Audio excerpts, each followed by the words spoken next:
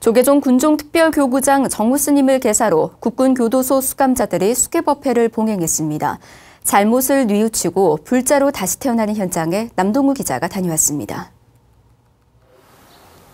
경기도 이천시 장원에 있는 국군교도소. 군 유일의 교정교화 시설로 군 생활을 하다 잘못을 저지른 육해 공군 장병 100여 명이 참여의 시간을 보내고 있는 곳입니다.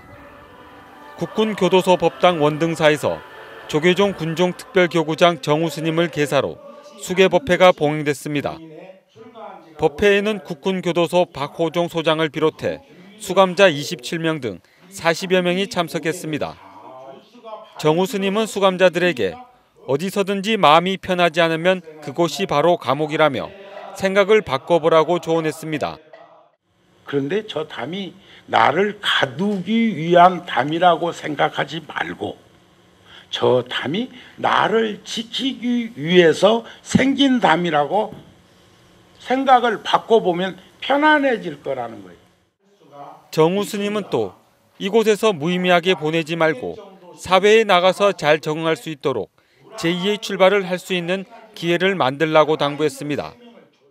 내가 여기에 얼마를 머무르든지 간에 그 시간을 갈고 닦아서 사회에 진출했을 때 어울림을 가질 수 있는 제2기의 인생을 준비하는 시간으로 삼았으면 좋겠다는 수계자들은 합장을 하고 연비의식을 치른 뒤 자신의 잘못을 뉘우치며 오계를 지킬 것을 다짐했습니다.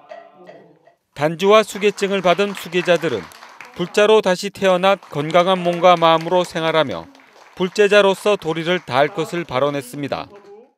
모든 중생을 교화하며 모든 중생을 교화하며 원수와 친아이들을 평등케 하며 원수와 친아이들을 평등케 하며 삶과 죽음의 윤회를 삶과 죽음의 윤회를 획탈케 하여 지이다. 획탈케 하여 지이다.